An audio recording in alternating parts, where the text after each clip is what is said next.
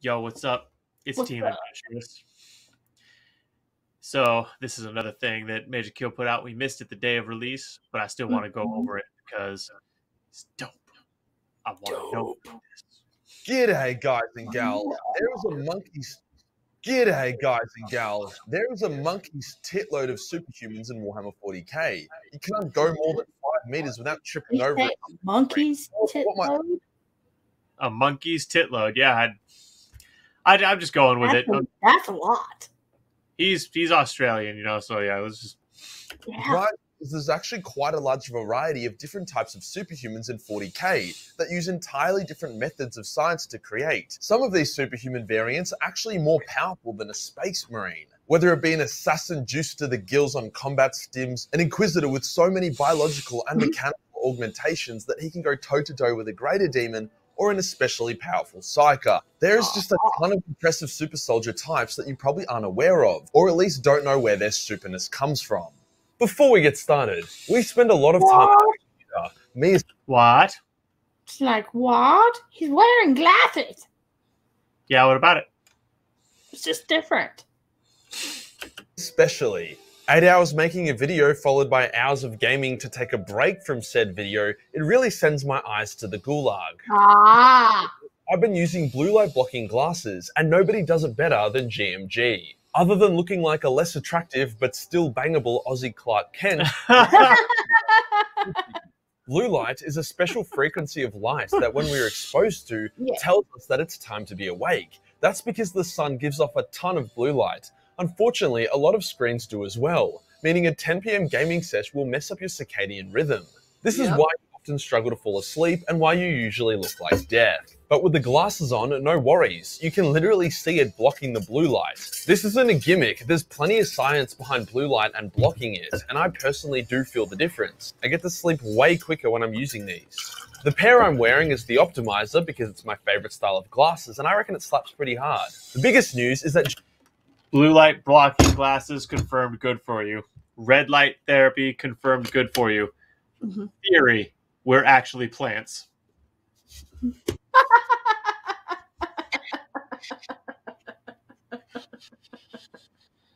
GMG is currently running a flash sale. It's been up only for 48 hours via my link below. oh no. Does that make us? money you will Does that make vegans cannibals? Yes. jumping in and saving us. Cheers to GMG for sponsoring this video. Today we'll go over non-Astarte superhumans within the setting of 40k, discussing their abilities, how they match up to a space marine, and how you go about creating one. I won't be including the Primarchs on this video just because I've already covered their creation and source of power in their own video. Let's get into it. We will start with the obvious ones you know and love, and then move into the niche, more interesting superhumans deeper into the video to compel you to stay longer. What can I say? Watch time What can I say? Watch time makes me moist. of the non and other uh, Custodes. If you've been following me for a while, or you know, you've just got basic common sense, you would know that Custodes are dope as hell. I currently have an army of them that I'm painting. I love their lore, and their aesthetic is just awesome. They're also one of the strongest superhumans. Giant banana hats. No thanks. Second, or the most powerful of psykers. What makes them so good? Well, first, they have the best like, around. you Whilst walk around looking like a banana all day. You look like banana. You look like banana. You look like banana. Banana. power armor is made of ceramite. Code armor is made of auroramite, which is better in every way. For context, the Emperor used auroramite armor, and not all the Primarchs had access to it. Their weapons are obscenely good, and they don't like to share. But good gear will only get you so far. Custodes have their DNA altered on a molecular level when they are young children, meaning they don't get shoved full of organs or crude augmetics like most other superhumans do. As such, a Mm. custodian will have the same organs and even proportions as a normal adult male. The difference is that they are just like so much better. For example, you can puncture a Custodes heart and he still won't die. One Custodes had half his head and brains blown out and he just kind of walked it off. So whilst having only one heart and two lungs might Damn! Imagine walking off. Imagine walking off having half your brain blown away. Wow. Oh my But god. inferior to space marines who have two hearts and three lungs, the custodial organs are oh Yeah, way because that's totally how that works. the extra What was that? I said, yeah, because that's totally how that works. weak points. The lore hasn't gone into the exact science of how custody is made, however, each one is considered to be a hand Dude, the art. Oh my god, the art on screen right now is so crisp. Yeah, it's great. But I was also about to make a joke where I was like, "Well, you see, when when you know when two people love each other very much." I'm just kidding. Work art, which is why of his superiority over the Astartes. The Emperor viewed every oh, life as an expendable tool except the Custodes. He genuinely liked them and always avoided sacrificing them, despite the fact that they would all happily jump feet first into hell if he gave the command. The other superhuman wing of the Emperor's private army are the Sisters of Silence, an elite order of blank women were designed to hunt down psykers and obliterate demons. Yeah. Blanks are people with a negative soul, meaning it sucks to be around them, and psykers feel physical discomfort and struggle to use their powers in their presence. Demons can't even touch them or be near them. Now, some people don't think that the Sisters of Silence are superhuman, just a bunch of elite blanks with good armor. But some people also think putting light bulbs up their rectums is a good idea. So the light bulb up the pump. Aww. Ah. idea, so you can tell this people Why? these chicks have been known to kill in melee fights. Their weapon of choice is a big ass greatsword, and their prey of choice is demons and psykers. We have seen elite non superhuman blanks before, and I can tell you with 100% confidence a space marine would delete them in an instant. It's not clear how their superhuman status occurs, but it's likely a more subtle and less warpy version of the Custodes process. I mean, they mm. have access to the same level of gear as the Custodes, hence why they're able to keep up. Did you know that the precursors to Space Marines, which are the Thunder Warriors, are actually better warriors than Astartes? They are bigger, stronger, and potentially even faster. So why were they mm. replaced with the physically inferior Space Marines? Well, their discipline was trash, and the crude surgery they received to turn them into these superhumans also gave them dementia and cancer. Bit of a rough trade there, buddy. To conquer the stars, the Emperor needed tactical, intelligent, and long lived soldiers who could work together and adapt to overcome the various threats the galaxy had to offer. He didn't need juiced up cavemen who were in a perpetual state of roid rage. Hence, when the Thunder Warriors Then again, I mean, most most Execute by- things when it comes to uh like getting superpowers in Warhammer 40k is like a would you rather game from hell. yeah. Yeah. The Custodes. The process of turning them into superhumans was done to adults instead of the children that Space Marines and Custodes usually require. It wasn't clean and it didn't need to be. The armor was basic ceramite power armor. I mean, the legs weren't even powered, so they weren't particularly quick, but to underestimate them would be your downfall. When the Imperium had to track down and kill the few Thunder Warriors that survived the genocide, those warriors would always take down multiple Space Marines before they were brought down themselves. This next one is a little broad, but bear with me. Inquisitors. Pretty much every Inquisitor is a superhuman in some capacity, whether it be from all the chemical juvenants keeping them beyond their prime for Mm. centuries, some augmetics to improve reflexes, vision, strength, or the ability for them to wear advanced power armor, psychic powers that let them enhance their bodies to superhuman capabilities, or a combo of everything. Inquisitors have basically limitless resources, hence, they have access to the best superhuman powers that don't require dramatic surgery or the loss of erections. Inquisitor. Yo, if these superpowers come with not having boners, I don't want it. What of Grey Knights from the front and kill a greater demon of Khorne, oh.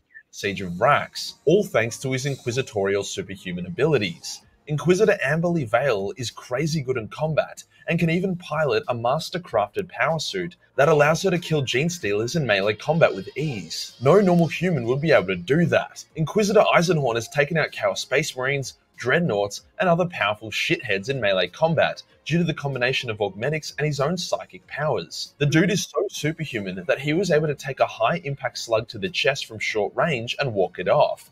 Any normal human would have a hole in their chest, but he just kind of copped it due to his status as a superhuman. The point is that whilst there isn't a one size fits all for Inquisitor's superhuman status, pretty much all of them enjoy some level of upgrade, although nearly all of them would still struggle to survive an encounter with a space marine. Bioscience, chemicals, and psycho abilities are all cool ways to become a superhuman, but it's hmm. important to remember that the flesh is weak. All hail the honest.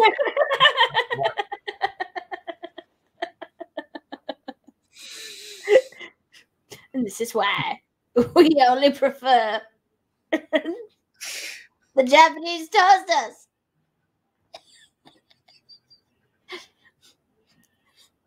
Japanese toasters are not weak, especially when they're the ones that you could find.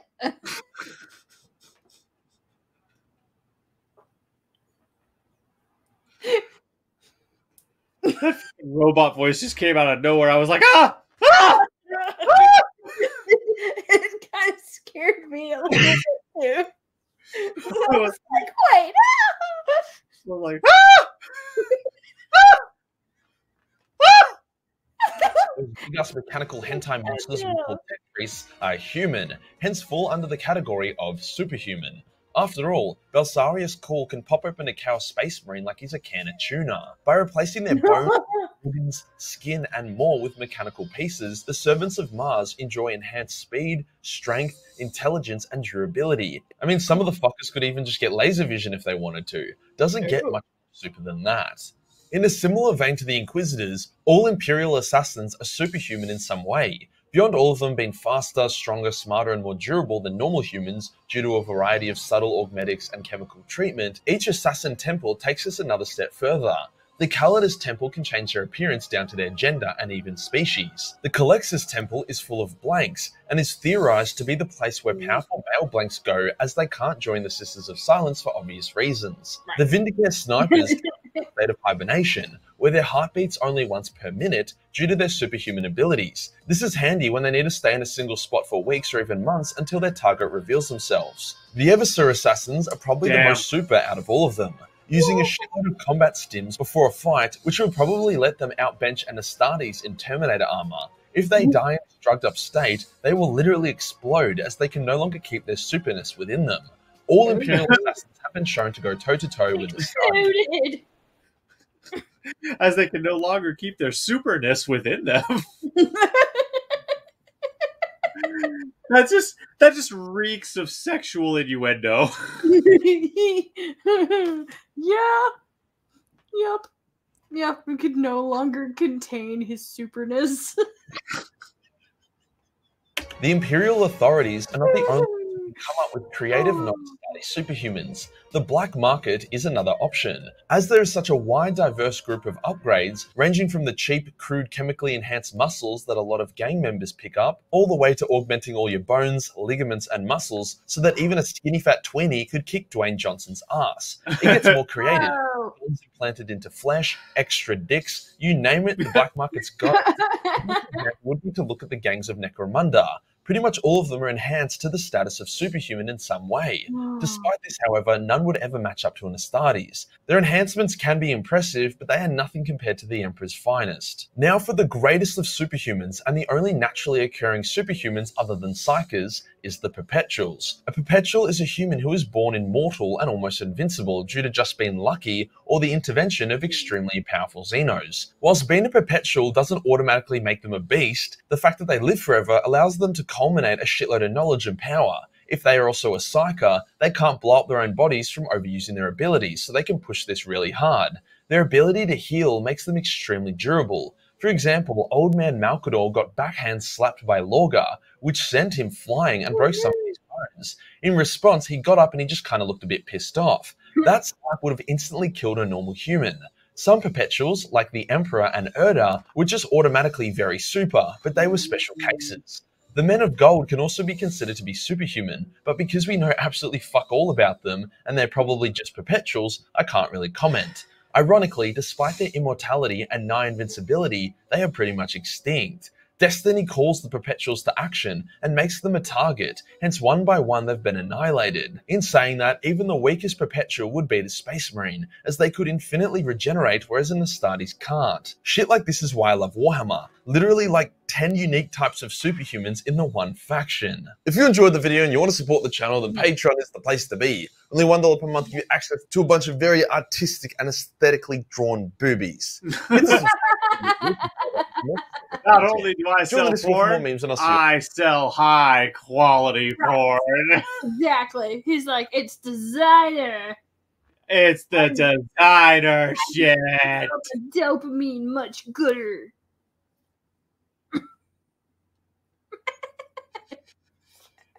Oh man. Yeah. Majorkill you wild, bruh. Yeah. You wild, bruh.